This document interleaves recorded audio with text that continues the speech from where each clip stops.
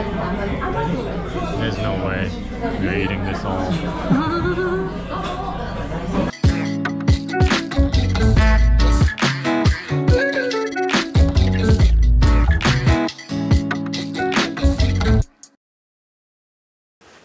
So today I'm meeting up with my friend to do a photo shoot at Tokyo Dome City. It's a large entertainment space.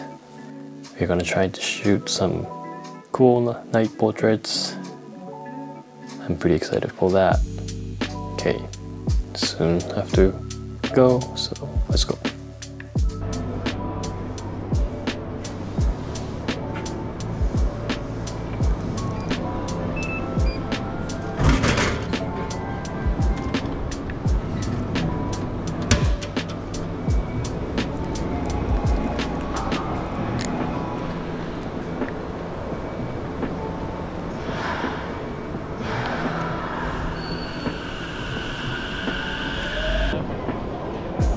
Hey, Hey, I like your shirt.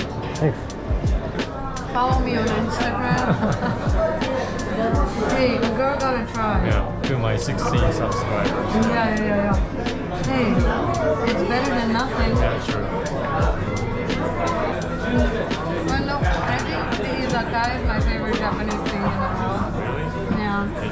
They just have Bibles? Yeah. That's like everything about it. Like the way it smells. Really, it smells like real stuff. And, and the way it looks. It's so traditional. So I just love it. I don't know. It's so relaxed. I guess it's different from your house. Yeah. It is a little bit different. Later that night.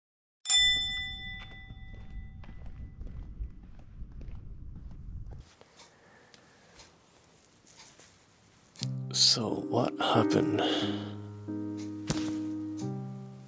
What happened was we got to Tokyo Dome City only to find out that my favorite spot take this kind of a shot and this kind of shot was under construction so we couldn't take any photos there. We ended up walk around a bit, found new spots to take photos. It was alright. And then my friend and model that day, her name is Adelina, by the way. She told me that she was invited to this private party at Shibuya, which apparently vocalist from One Ok Rock, Taka, was coming. Those who don't know, One Ok Rock is like super famous Japanese rock band, which I used to be a huge fan of. So of course I said yes, I love to go. We met up with our other few friends and went up to this club at Shibuya.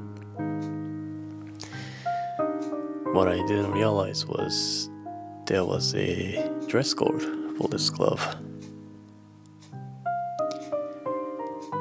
And you know what this dumbass was wearing that day? Sandals.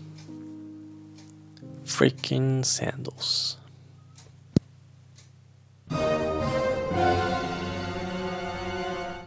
So I ended up turning around and just went home by myself.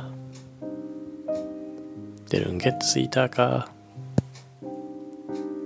Oh, I was so bummed about this whole thing. Tokyo Dome City and club, and my motivation go boo boo boo boo boo. That's why I don't have much footage of me shooting or whatever. And now I'm filming like this. I guess just life doesn't work the way we want it to all the time, right? Ah, oh, it just sucks.